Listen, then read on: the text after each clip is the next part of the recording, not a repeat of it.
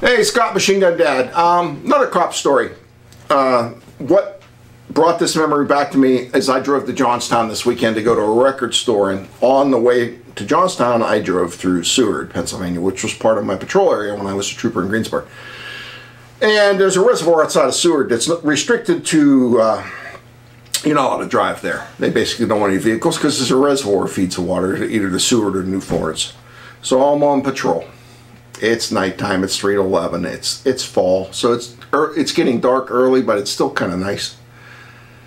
And the the old road goes up to the reservoir at the time, I don't know how it is now.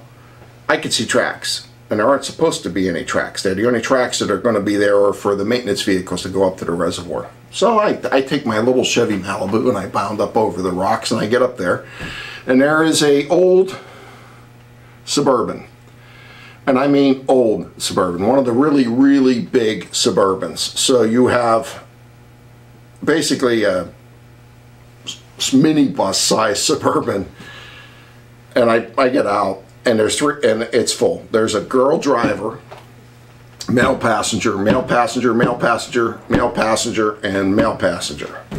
So I come up to the, because of where it was and where it was parked, I came up on the passenger side. So I go up and the guy rolls the, rolls the window down. Shows you how long ago this was. Rolls the window down, and you can smell the alcohol, right? And I'm like, oh, okay. And I'm like, hey, you're not you're not allowed to have a vehicle up here. What are you doing here? And the guy's like, he's giving me hems and haws, you know. And I say, look, being an adult, I can smell the alcohol. Before we start anything, what are you doing here? And he leans out and he says to me, we're here to pull a train. I grew up in the suburbs of Pittsburgh in the North Hills. I don't know what that means. I'm thinking, there's no railroad tracks around here. What is he talking about? And I said, and he had said that real soft, and I, I said, what? He, so he says a little louder, he says, we're here to pull a train. All the way in the back row on the passenger side seat is a young kid and he, he's drunk. And he yells caboose gets to eat! Caboose gets to eat! Now again i don't know what any of this means. And i'm like what? And he's like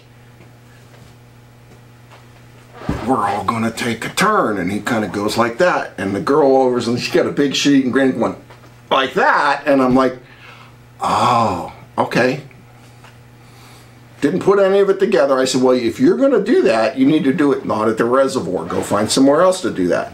Hey, thanks a lot, man. I didn't I didn't card anybody, but I'm pretty sure the kid in the back was probably like 18 or 19 years old. They leave. I get back in my car. I drive back to the barracks.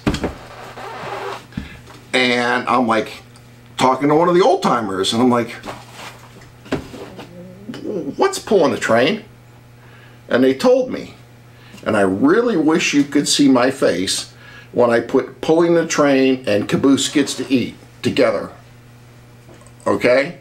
Now, for those of you that don't know what I'm talking about, go out and look it up on the internet, but make sure when you read what it is that you have the camera facing at you because that will be a life altering experience. And when you're a 23 year old kid in the middle of nowhere and they're telling you this and you've never heard this before, it was a life-altering experience for me. I hope that people that understand what I'm talking about enjoy the story. Thanks again.